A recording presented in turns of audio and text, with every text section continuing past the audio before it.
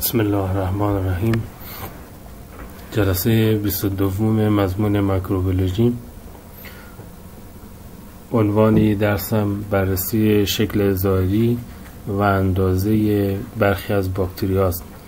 از سلسله مباحث اصول دستبندی باکتری ها مهمترین اونها شکل ظاهری باکتری ها بود که در این جلسه در مورد اینها صحبت خواهیم کرد. همونطور که گفتیم معیارهای مختلفی برای دستبندی باکتری ها به کار میره از جمله این مواردی که اینجا گفته شده شکل طرز قرار گرفتن حرکت خواص مختلف کیمیاوی از قبیل ارتباط های آنزایمی مشابهت آنتیژنی و همسانی ماده ژنتیکی. اما چیزی که معمول دستبندی باکتری ها بر اساس شکل که ما هم در این چپتر با باکتری ها را بر اساس شکل تقسیم بندی می‌کنیم.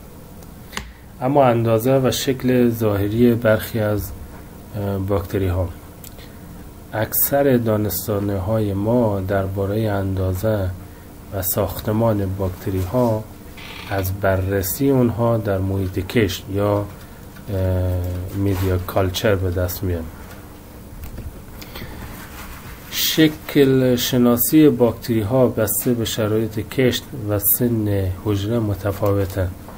در این شرایط شکل باکتری های جوان را در محیط و در درجه حرارت مناسب در نظر میگیم پس هرچی اطلاعات ما در مورد ساختمان باکتری ها داریم و در مورد اندازه باکتری ها داریم برمیگرده به این موضوع که ما باکتری ها را در یک محیطی کشتیم. یعنی در یک مدیایی باید مدیایی باید کشت بدیم. و چیزی که برای ما مهمه ایه که باکتری های جوان و در, و در درجه حرارت مناسب ملاک ملاک من میشه برای که بگیم که این باکتری چه شکلی داره.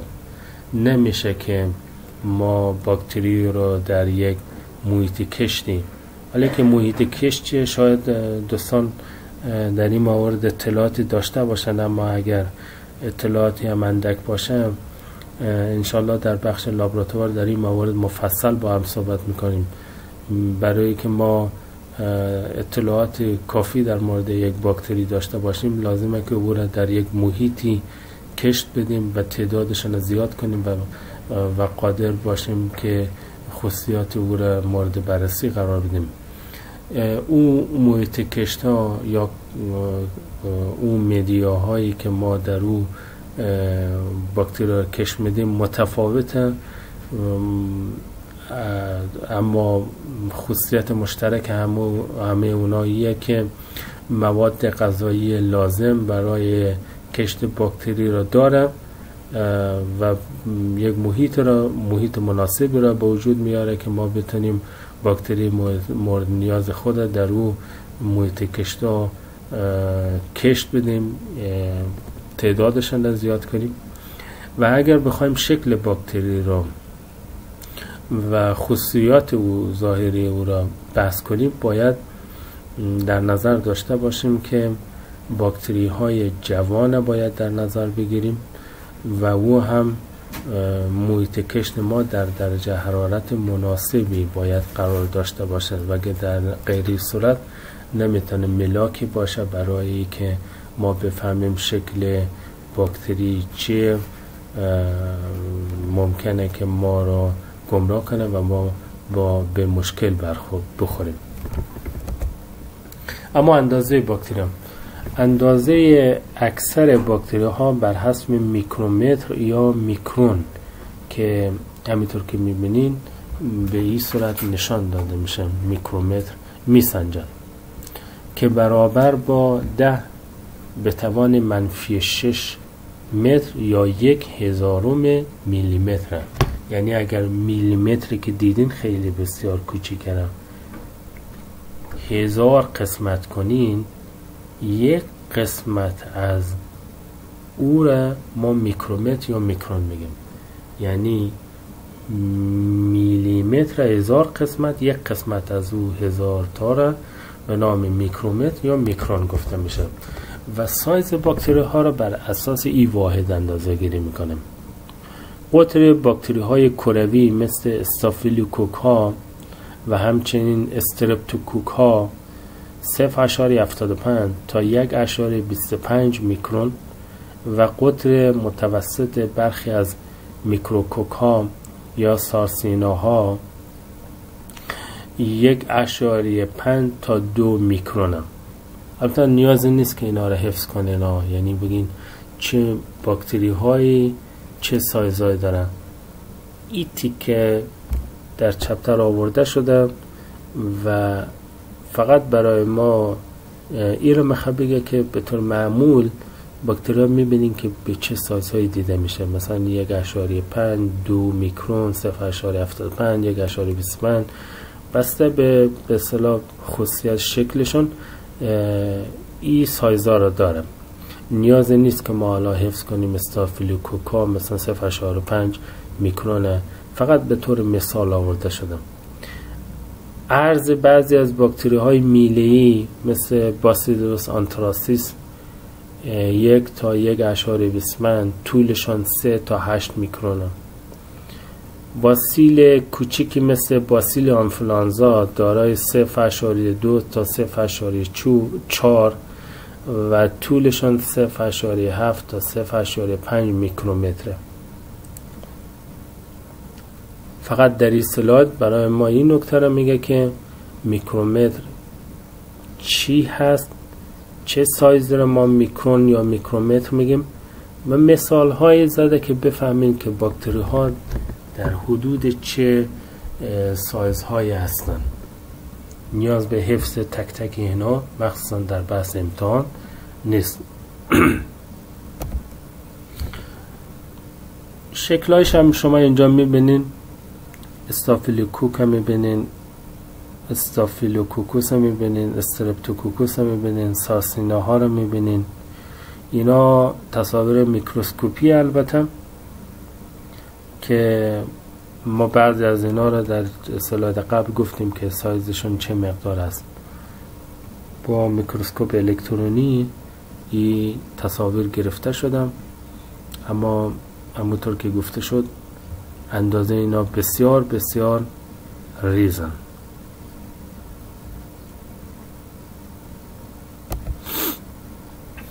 اما شکل ظاهری باکتری در باکتری به طور کل ما سه شکل داریم که اینا را به صورت علمی و لاتین به یه اسامی گفته میشه. کوکسی ها یا باکتری های کروی شکل. باسیل ها یا باکتری های میله شکل اسپریل ها یا باکتری های مارپیچی.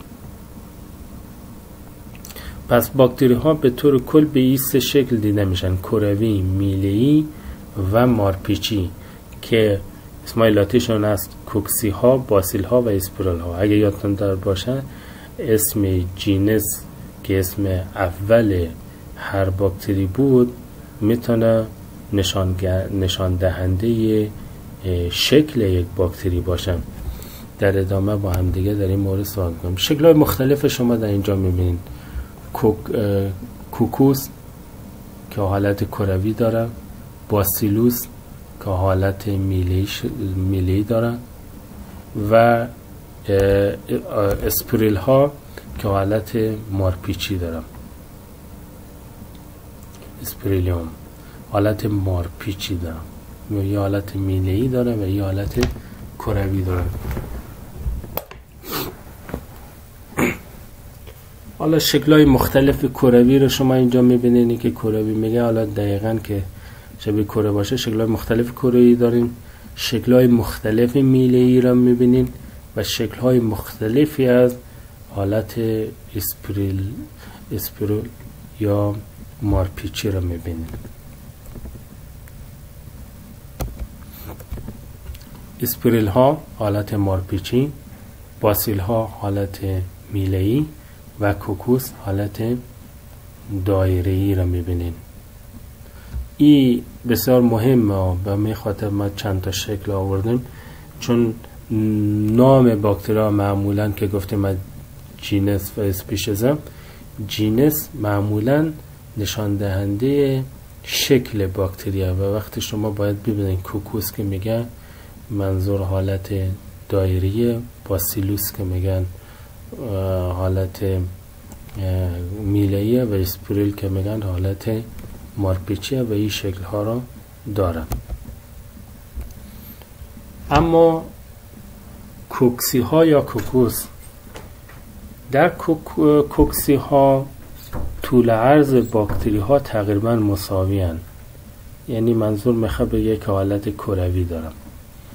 بسیاری از کوکسی ها تقریبا شبیه کره واقعی هن.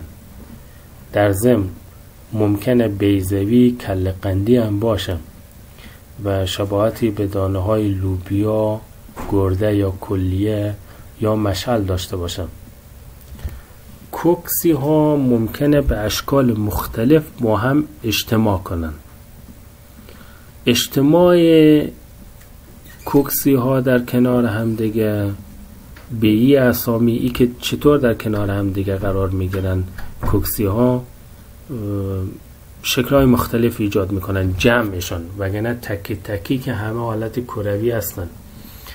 اما خود کوکسی ها چندین نوع متفاوته. ای که وقتی در کنار هم قرار می‌گیرن در مجموع چه شکلی ایجاد می‌کنن کوکسی ها را به استافیلوکوک ها استرپتوکوک ها و, نی... و نیسریا ها تقسیم بندی می‌کنن این سه تا از کوکسی های دسته های کوکسی هن یا کوکوس ها هستن که با توجه به ای که در کنار هم قرار بگیرن چه شکلی رو ایجاد می‌کنن به ای سه بخش تقسیم شدن وگرنه تکی حالت کروی دارن. ببینیم اینا چیان. استافیلوکوک ها جنس مهمی از باکتری های گرام مثبتن. یکی گرام مثبت چیه و گرام منفی چیه؟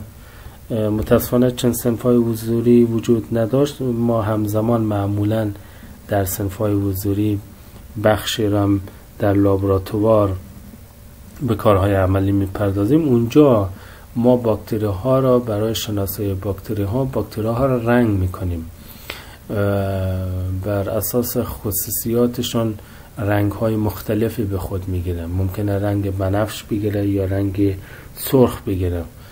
با توجه به این موضوع ما باکتری ها را به گرام مثبت و گرام منفی معمولا دسته بندی می‌کنیم که در ادامه البته من یک توضیح مختصری در این رابطه دادم. که باکتری گرام مثبت چند و گرام منفی منفی چند. البته به صورت مختصره ما در بخش لابراتوار همچون کار عملی می‌کنیم و باکتری ها را برای اساس می‌شناسیم. بر اساس رنگ آمیزی و اونجا مفصل گفته میشه که گرام مثبت و منفی چیه. اونجا بیشتر با هم دیگه انشالله بحث می‌کنیم. اما در ادامه ما چند سلاید داره در مورد باکتری گرام مثبت و منفی آوردیم. فعلا شما به همین مقدار اطلاعات دسترسی داشته باشین که گفته میشه استافیلوکوک ها که جزو کوکسی ها هستن جنس مهمی از باکتری گرام مثبتن. مانند استرپتوکوک ها به شکل کوکسی می باشن اما تقسیم آنها در دو محور انجام میشه. بنابراین به شکل خوشه دیده میشه. استافیلوکوک بذارید شکلش ما ببینیم اینجا. استافیلوکوک ها را شما شکلش در اینجا می‌بینید خود باکتری ها به صورت تکی کروی شکل هستن. اما وقتی میگن تقسیم میشه هم ممکن از سمت چپ خود و هم از سمت راست خود شروع به تکثیر کنن. و وقتی که تکثیر پیدا می‌کنه چون از دو جهت داره تقسیم میشه در نتیجه شبیه خوشه میشه. همینطور که می‌بینید. شکل خوشه خوشه رو بجنده خوشه های انگور دیدین؟ که یه خوشه انگور چجوره به همین دلیل از کنار هم قرار گرفتن باکتری ها که البته استافیلوکوکوس باشه یا استافیلوکوکا باشه چون از دو جهت داره تکثیر پیدا می‌کنه. وقتی که مجموع اینا رو با هم دیگه می‌بینیم حالت خوشه ای می‌بینیم. پس مهمترین ویژگیش اینا استافیلوکوکایی که تقسیم آنها در دو محور انجام میشه. دو محور یعنی که هم از سمت چپ خود شروع به تقسیم می‌کنه هم از سمت راست خود. بنابراین پس شکل خوشه‌ای به خود می‌گیرن استرپتوکوکا بازم گرام مثبتن به شکل کروی هستن اما تقسیم اونها در یک محور انجام میشه. بنابراین منجر به تشکیل حالت زنجیری یا جفت خواهد شد. بنابراین واژه استرپتوس به معنی زنجیره هست. استرپتوکوکوس اینجا شما می‌بینین.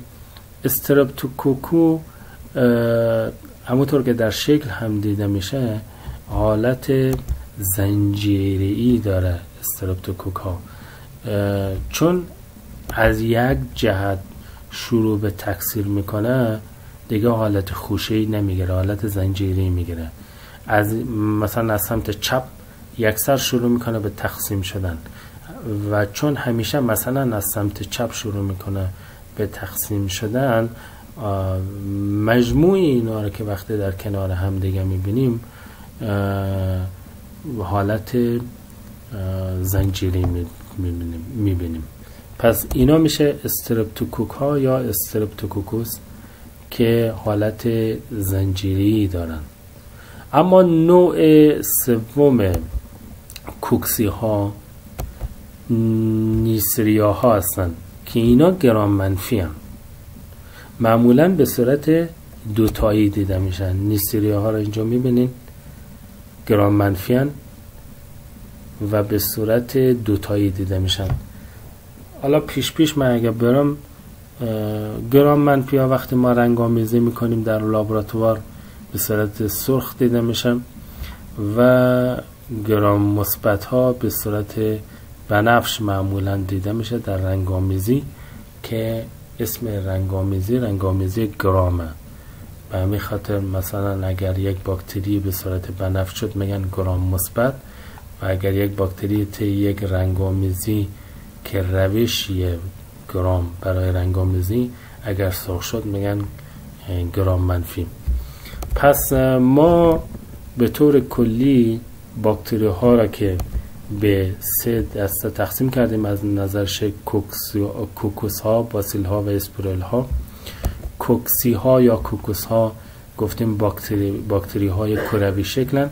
اما با توجه به که در کنار هم وقتی زیاد میشن چه شکلی رو ایجاد می‌کنن؟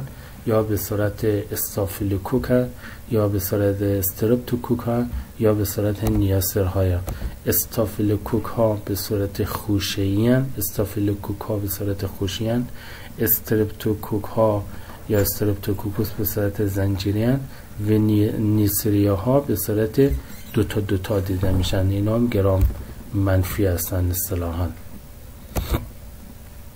اینجا من به صورت بسیار مختصر البته فقط جهت اطلاعات شما که چون حالت سنف حضور نداره آوردم گرام منفی شامل گروهی از باکتری هایی که به دلیل نوع دیواری اونها در انگام رنگامیزی گرام رنگامیزی گرام یک نوع رنگامیزیه رنگام... انواع رنگامیزی های مختلف داریم که یک روشش رنگامیزی گرامه کسی که این روش رنگامیزی رو اختراع کرد. پس در انگام رنگامیزی گرام توانایی جذب کریستال ویوله را نداشتن. کریستال ویوله اولین رنگیه که ما به محیط کشت اضافه می‌کنیم به باکتری اضافه می‌کنیم و به حالت بنفش دارم. در گرام منفی ها میگه رنگامیزی باکتری های گرام منفی قدرت جذب این رنگ بنفش ندارن و در مرحله دوم که ما سافرانین اضافه می‌کنیم که یک نوع رنگ سرخه او رنگ سرخ می‌تونه به خود بگیرم. پس گرام منفی ها به همین دلیل به صورت سرخ دیده میشه. اینجا می‌بینیم. چون ما اول رنگ بنفش اضافه می‌کنیم به محیط. چه گرام چه باکتریا گرام مثبت باشه چه گرام منفی. اول رنگ بنفش اضافه میشه که اسمش crystal violet ـه باکتریا گرام منفی نمی‌تونه رنگ بنفش بگیرن. اما گرام گرام مثبت ها می‌گیرن. گرام منفی ها که نگرفتن در مرحله دوم که ما رنگ سرخ اضافه کردیم رنگ سرخ که اسم سافرانین می‌گیره و بعد زیر میکروسکوپ به صورت منفی دیده میشن کلا باکتری گرام منفی به خاطر دیواره نفوذ ناپذیرشون با آنتی بیوتیک ها مقاوم تر هم باز بعدا در این مورد با هم دیگه بیشتر صحبت می‌کنیم. که با توجه به همی که گرام منفی شد گرام مثبت شد چه خصوصیاتی ممکنه گرام مثبت ها داشته باشه و گرام منفی؟ فعلا گفته شده که چون دیواره نفوذ ناپذیری دارن با آنتی ها هم مقاومن اینجا شما باکتری می‌بینید که گرام منفی رنگ سرخ به خود گرفتم اما گرام مثبت ها گروهی از باکتریان که در برابر رنگامیزی گرام کریستال ویوله را که رنگ بنفش داره رو جذب می‌کنم به رنگ آبی تیره یا بنفش دیده میشه. دیواره حجروی باکتری گرام مثبت معمولا فاقد قشای خارجیه که در گرام منفی ها یافت میشه. یم باکتریه که گرام مثبت به وقت رنگ آمیزی شده. حالت بنفش یا آبی رو به خود گرفتم. به همین خاطر اینا رو گرام مثبت میگیم. یعنی باکتری که رنگ بنفش به خود می‌گیره میشه گرام مثبت. گویی که نمی‌تونه بگیره اما در مرحله دوم رنگ سرخ می‌تونه بگیره. به نام گرام منفی نام برده میشه. یا البته گرام منفی و گرام مثبت ها انشالله بحث مفصل در بخش لابراتوار داره که اگرم ما برسیم در ادامه لابراتوار هم من همینجا به صورت آنلاین توضیح میدم و بعد انشالله در سر صنفای لابراتوار میشه که بیشتر با هم دیگه صحبت کنیم. اونجا ما در مورد گرام منفی و گرام مثبت مفصل با هم دیگه صحبت می‌کنیم. فقط چون در مورد کوکسی ها گفته شده بود که بعضی گرام منفی و بعضی گرام مثبت می‌خواستیم ببینیم که مفهومش چیه. فعلا تا جلسه آینده که موضوع ادامه بدیم. خدا نگهدار شما.